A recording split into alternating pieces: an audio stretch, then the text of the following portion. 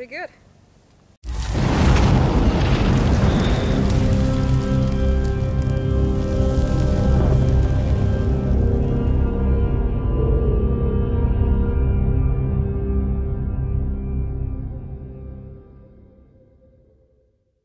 Hi guys, my name is Lilly and today I want to carve a green self bow out of this hazelnut stick that I just harvested. And hazelnut makes a good material for a quick survival bow and today the challenge is that I only use my knife to make this bow, to carve the bow. Okay, before I start carving I want to determine which side is the back and which is um, the belly so the stick has a natural curve in it and I want to use that. See, the stick already bends a little bit, which is a good thing. Okay, so this is going to be the belly. I just carve a mark into the wood so I know that I have to carve at this side.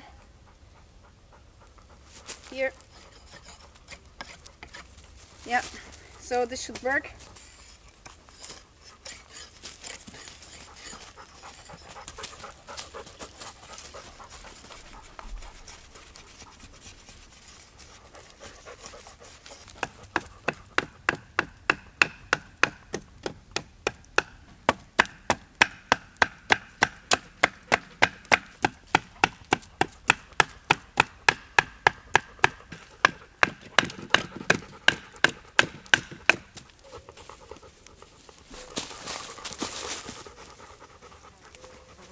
Okay guys, I already destroyed the one stick bow, so I have carved away too much wood at this point and I know that it's going to break here. So now what I'm doing is I cut off the limb here and this is going to be uh, upside down now. This is the handle and this is um, the end of the bow. So this way I can save the wood.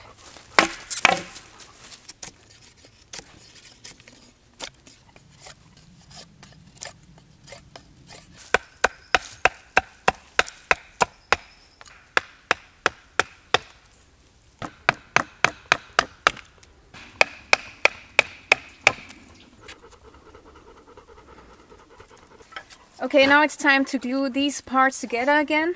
And today I'm using pine pitch, which I have made another day. And today I don't want to light a fire because it's very dry and I don't want to risk a forest fire. So I'm just taking this alcohol burner for safety reasons. Okay, first I want to heat up the parts that I want to glue together.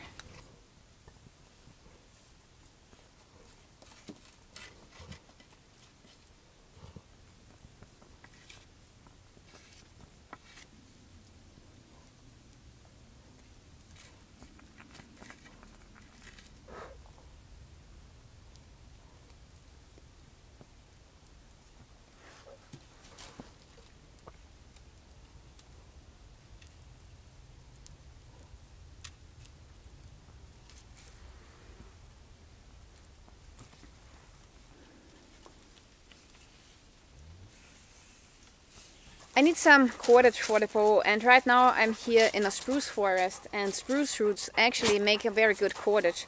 So now I'm going to dig out some of these roots here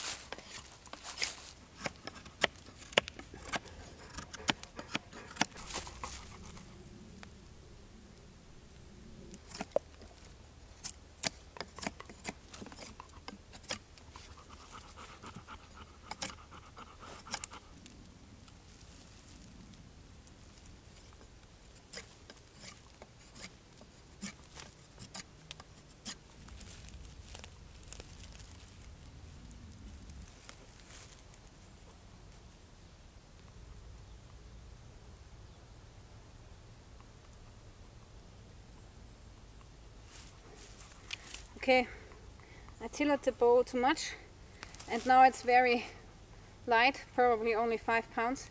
So now I'm cutting off the limbs a little bit to gain more strength again.